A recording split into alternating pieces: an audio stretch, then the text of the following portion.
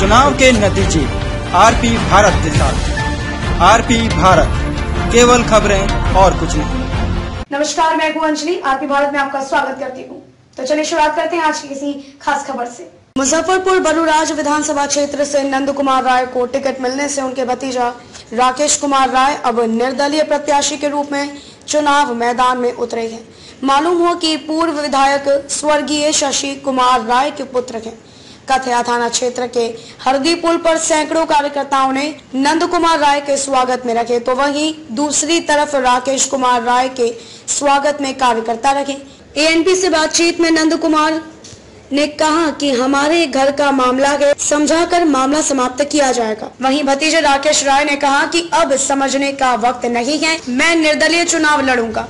बरूराज की जनता मेरे साथ है और मैं उनसे अपना हक मांग रहा हूँ। राजद पर आरोप लगाते हुए उन्होंने कहा कि चार करोड़ देकर टिकट ली गई है। आज से मैं राष्ट्रीय जनता दल का पुरजोर विरोध करूँगा। बरूराज की जनता का प्यार चाहिए। मुजफ्फरपुर से नवीन कुमार ओझा की रिपोर्ट। रोजगारी है जो आप के घर के लोग निर्दलीय चुनाव लड़ने की तैयारी में है उनको क्या आप कहेंगे देखिए निर्दलीय तो हम हमारा जो विश्वास है जो कि निर्दलीय चुनाव तो नहीं लड़ना चाहिए। है। अगर है तो सब लोग का अपना अपना उनको क्या आप कहेंगे? उनको आप कैसे हम तो कहेंगे कि जो जो बात हुई है हमारे आमने सामने सब हुई है और मुझे आशा है कि ऐसा गलत काम वो नहीं करें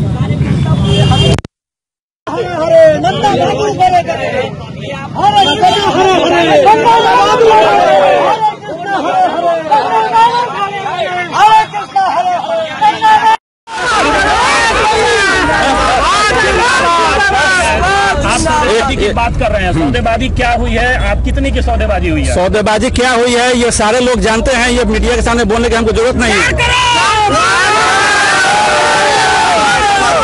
खरीदा गया है। क्या होगा? हमको पूर्व विधायक नहीं चाहिए। क्या नारा होगा?